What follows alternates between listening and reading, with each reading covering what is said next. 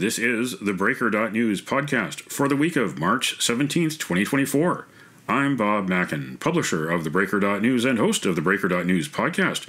Welcome to edition number 334 and happy St. Patrick's Day. Benachti, Nafila, Parit Och.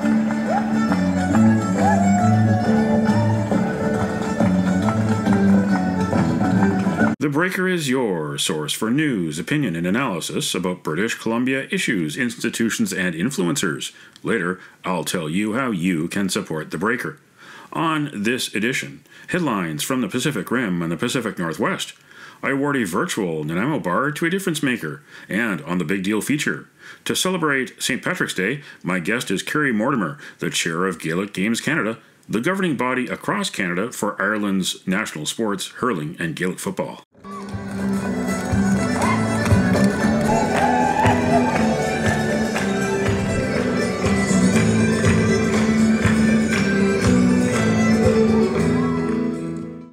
On St. Patrick's Day 2024, we'll take a moment to look back 39 years ago to the 1985 Shamrock Summit in Quebec City. Canada's Prime Minister Brian Mulroney hosted U.S. President Ronald Reagan for the St. Patrick's Day Summit. They celebrated U.S. and Canada friendship and Irish culture. Reagan was just starting his second term in the White House. Mulroney was in his first year at 24 Sussex. Mulroney died February 29th, and his state funeral is coming March 23rd. Here are the sounds of the summit, including Mulroney at the microphone, courtesy of the Reagan Library.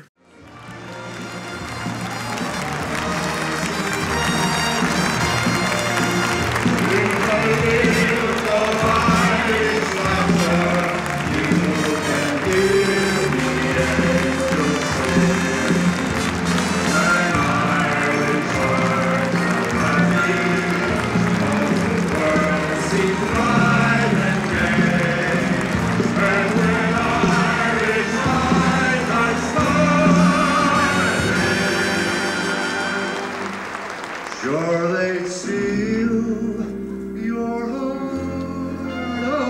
away.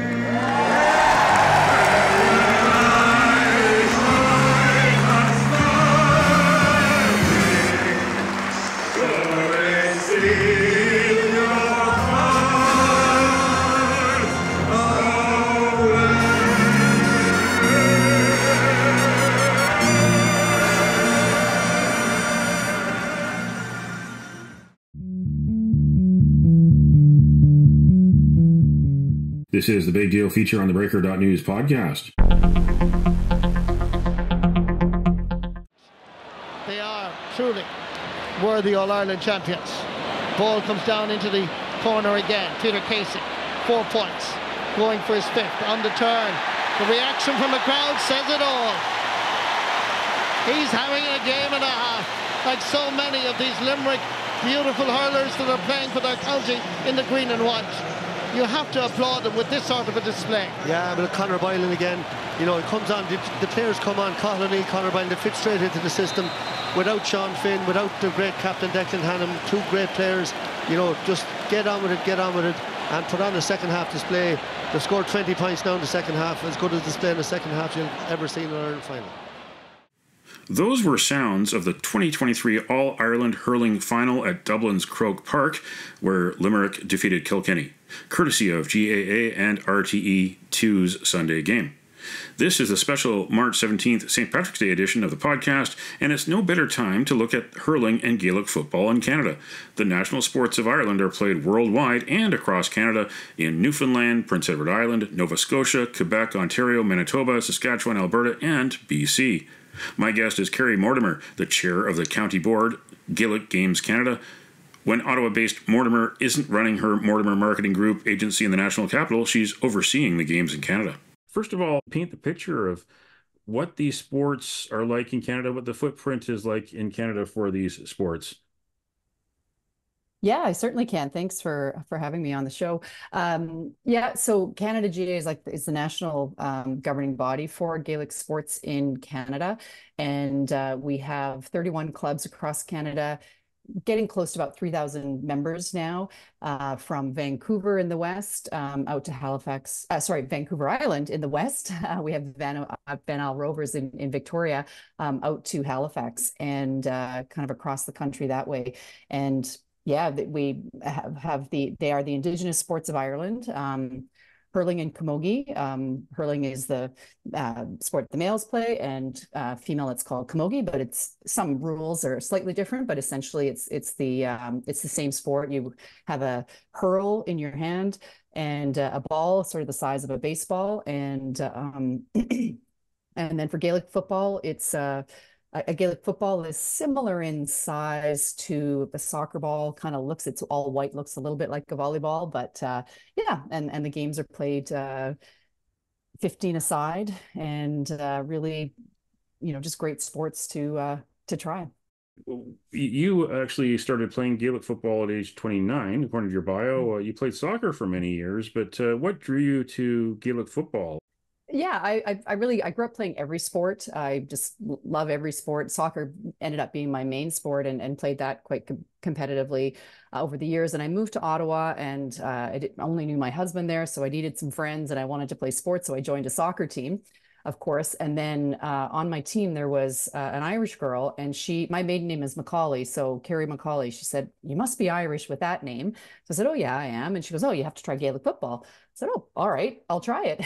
and uh, that was it for me. I, it's, I love the sport. It, you know, after playing a competitive sport, I, I didn't, you know, didn't want to, you know, continue playing or could actually at that point continue playing at that competitive level of soccer. So it was a great challenge, uh, very transferable skills um, and just just a great sport. And you sort of start for the sport and and and and get drawn in for the sport, but for me, I'm 25 years in now, and and really you stay for the community. Um, it, it's, for me, it's a connection to my Irish culture. My parents are from Ireland, um, and I moved to Canada, you know, at the age of five, um, and so it, for me, it connects me to that as well. And and all my cousins and aunts and uncles still live in Ireland, so it's a great cultural connection. But anywhere you go and you'll hear that from from irish people that travel around the world you know often their their first stop when they when they move somewhere is to call the the local gaa club. And because it gives you you know opportunity to play your sport but it gives you a community you find friends and can find a job can find a place to live. And it's just a, a great soft landing if you're moving anywhere in the world. And there's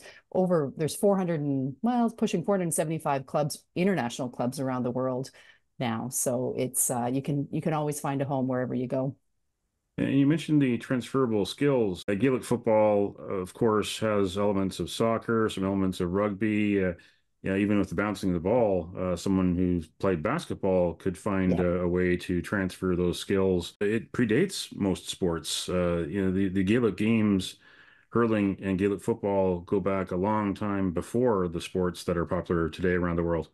Yeah, absolutely. Uh, hurling, I, I think, you know, dates back to, ooh, I think it's maybe 12th century or something like that but um, yeah these are these are you know the, like i said the indigenous sports of ireland and they've you know sort of evolved and changed over the years. All sports over the years as all sports do.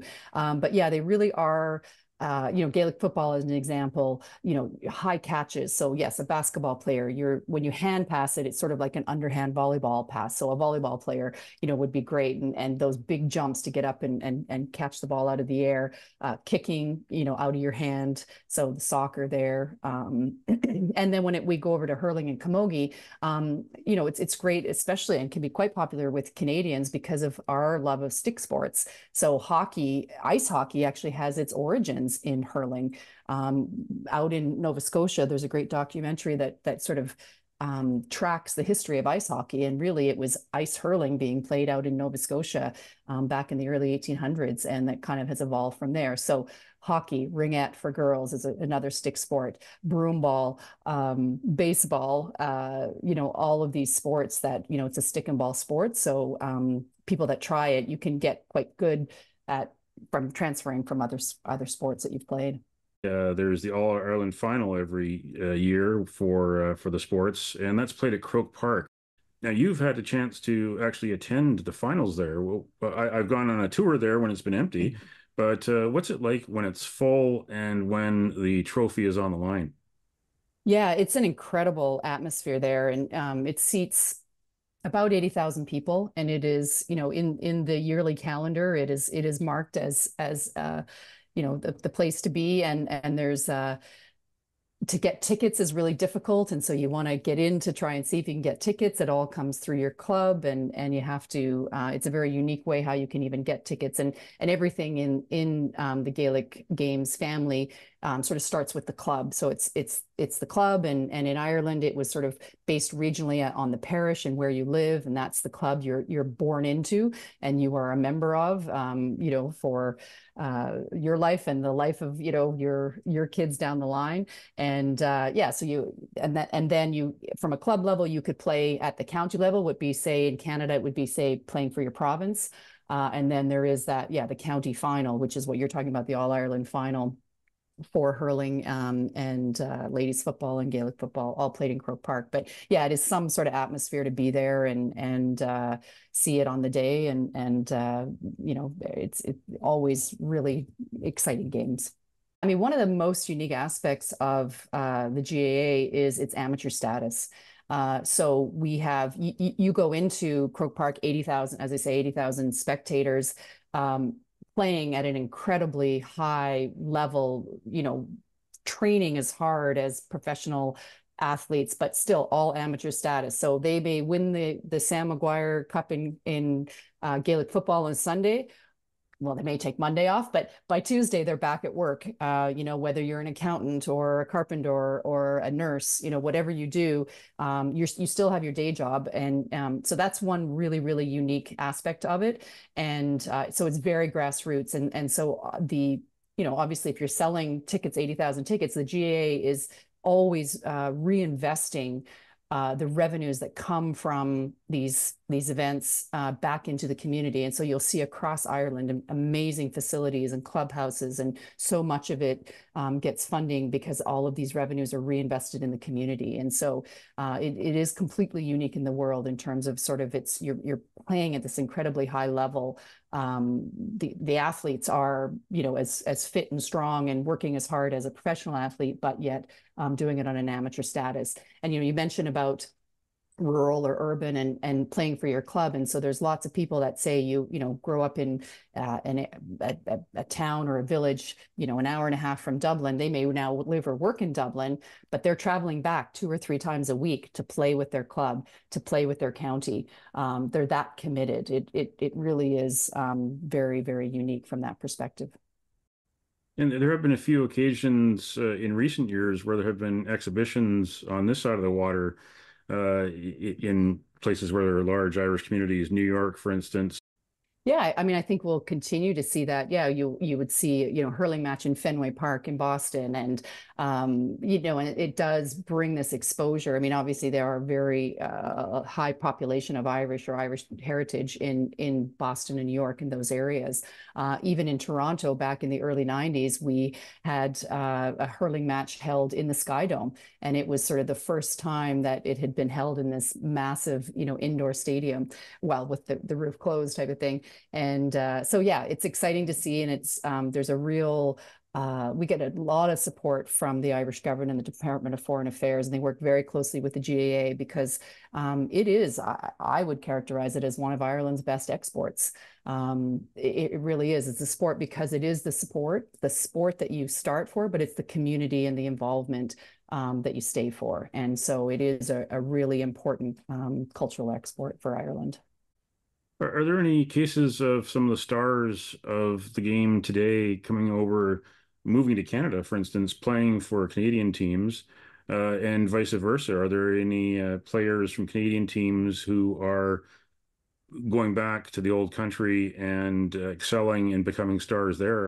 I mean, certainly you would you have uh, the, the um, immigration and whether that's for a one year two year work visa or staying permanently um, we have you know quite a number of our members come from ireland and and play here and, and vancouver particularly is growing um, at, at an incredible rate. Uh, there's just i think it's sort of like it's the hot spot. So people are have friends there and they're and they also have you know a great um, divisional committee that is running, uh, you know, very effective and, and efficiently running games and good governance. And um, and really growing uh, growing that way. So I'd say we, you know, primarily it's it would be Irish people coming and playing here and finding a home and a club wherever they settle.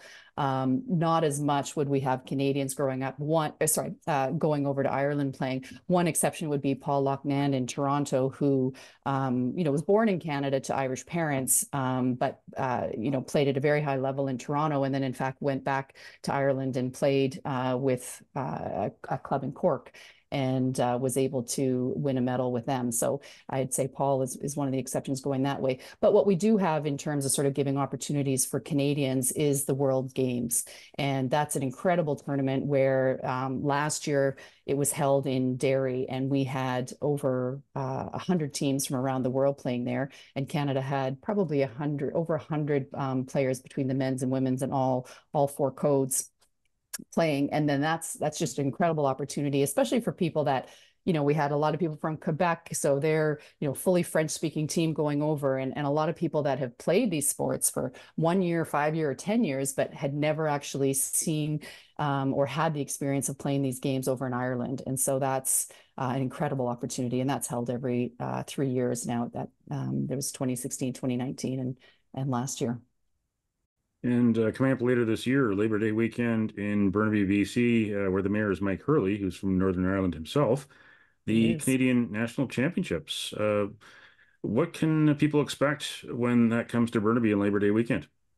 Yeah, we're very excited to um, having that to have that being hosted in Burnaby. There's a beautiful location out there, Burnaby Lakes, and uh, so we're expecting probably um, close to a thousand participants. So we're going to have teams from across Canada uh, descending on the Labor Day, Labor Day long weekend into into Burnaby and uh, have a full weekend, Saturday and Sunday, full of games of um, of all. So we probably have maybe 600 or to 700 traveling, and then the rest would be made up of the the teams and clubs in Vancouver.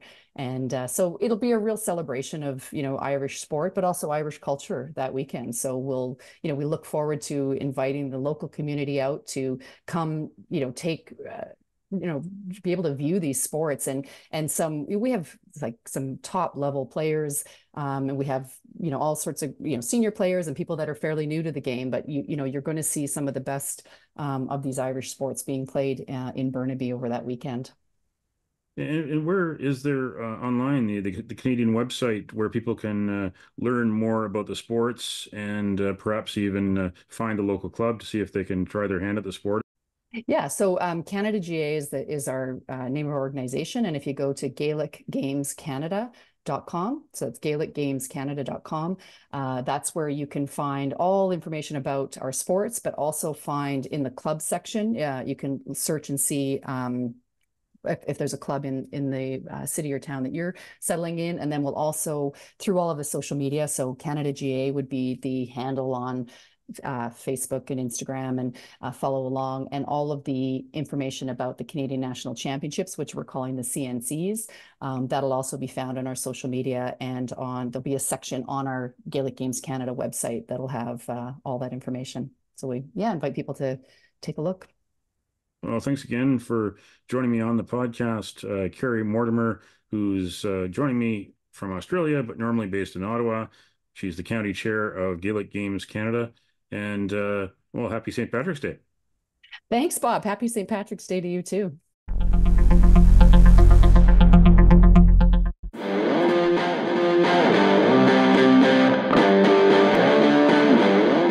Now it's time on the Breaker.News podcast for Around the Rim. We look at news headlines around the Pacific Rim. In the Taiwan news, convenience store sales over 400 billion new Taiwan dollars last year. Taiwan boasted over 13,000 convenience stores in 2023, government report says. The revenue equals about 17 billion Canadian dollars.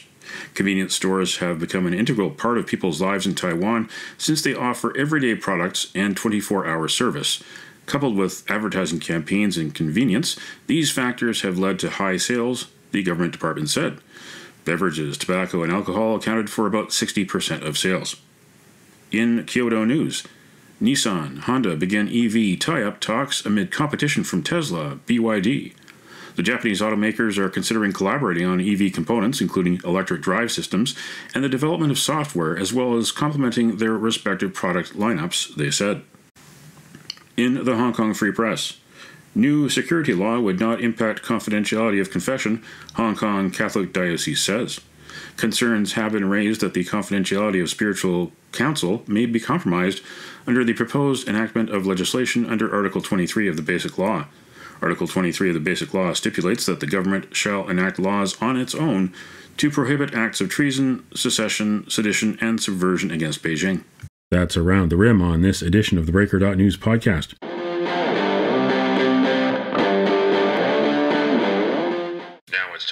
Breaker.News podcast for Cascadia Calling. We look at news headlines around the Pacific Northwest. In KOIN TV, Columbia CEO Tim Boyle sounds off. If we can't pick up trash, what the hell can we do? Boyle said the lasting image of Portland as an open drug haven will be tough to shake, and the local business climate remains challenging. The Portland Metro Chamber said last year's metro area job growth was a sluggish 1.3%, well below the U.S. average. In the Seattle Times, Trump clinches GOP nomination with Washington presidential primary. President Joe Biden and former President Donald Trump easily won Washington's low drama presidential primary on March 12th, cementing a November general election rematch. Biden received 85% support in the Democratic primary, while Trump won about 75% of the Republican primary vote. Nikki Haley got 20%. The uncommitted, a pro Palestinian vote against Biden, received 9% support. In the Times Colonist, Victoria councillors vote themselves a 25% raise. The raise, which will take effect in May, will see councillor salaries increase to 65,525 from the current 52,420. The mayor's salary will remain at $131,050 this year. The motion to bump up councillors' salaries was not on the agenda for Thursday's meeting, but was brought forward by Councillor Jeremy Caradonna after a consultant's report suggested remuneration for Victoria's council was falling behind those in other Canadian cities. That's Cascadia calling on this edition of the Breaker.News podcast.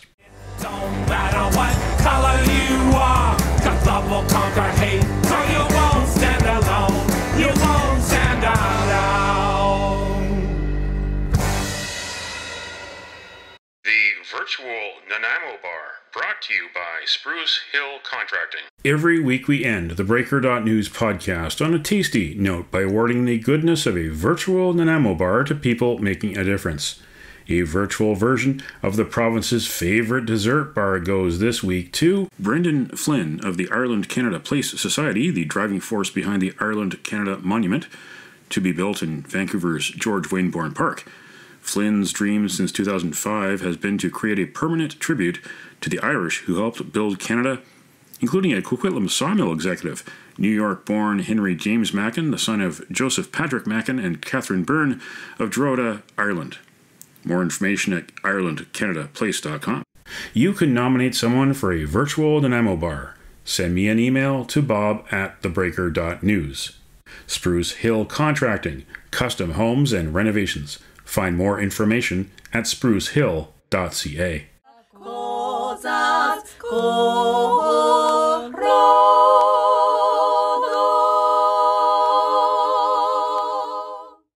That's it for the Breaker.News podcast for the week of March 17th, 2024. I'm Bob Mackin. Thanks for joining me.